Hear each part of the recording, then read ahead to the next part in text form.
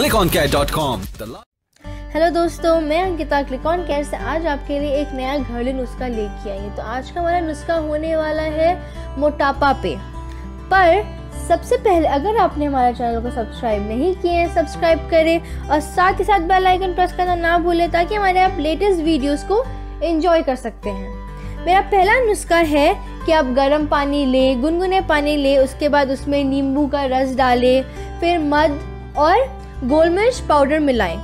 इसे हर सुबह पिए ताकि आपका पेट भी अच्छा रहेगा और आपका मोटापा को भी जल्दी कम करने में या में मदद कर सकता है। फिर हमारा उपाय है एलोवेरा जूस। आप एलोवेरा जूस की जगह आप एलोवेरा को काट के उसके अंदर से उसका पल्प निकाल के ब्लेंडर में अच्छा से मिक्स करके उसको ऑरेंज जूस के साथ पिए। ऑरेंज जूस भी आपका सेहत के लिए अच्छा है और हमें पता है कि एलोवेरा आपका स्किन के लिए अच्छा है, उसके बहुत सारे फ़ायदे हैं।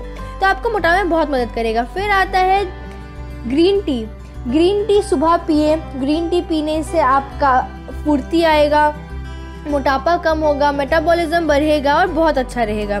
फिर है सौंफ। सौंफ की चाय। सौंफ की चाय आप खाना खाने से 15 मिनट पहले पिए। आपको वैसे ही पता है कि सौंफ आपके सेहत के लिए बहुत अच्छा आपका पेट में मतलब खाना डाइजेस्ट करने में हेल्प करता है और इसके बहुत सारे कई फ़ायदा है। तो इसे सुबह सुबह पिए या फिर खाना खाने से पहले पे तो बहुत फ़ायदा है।